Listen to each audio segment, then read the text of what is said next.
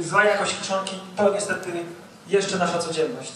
Yy, Podczas wizyt odwiedziliśmy blisko 700 gospodarstw, sprawdzając jakość zakiszonego materiału. Yy, W zdecydowanej mniejszości spotykamy tak dobrze zakiszone, ładnie wybierane yy, obiekty. Zadajemy sobie pytanie, po co? Po co w ogóle sprawdzamy jakość kiszonki? Dlaczego to jest tak ważne? Dla przypomnienia, 5 miesięcy kukurydza rośnie w polu 5 miesięcy. Napełniamy silos w zależności od jego wielkości, od wielkości areału od jednego do kilku dni.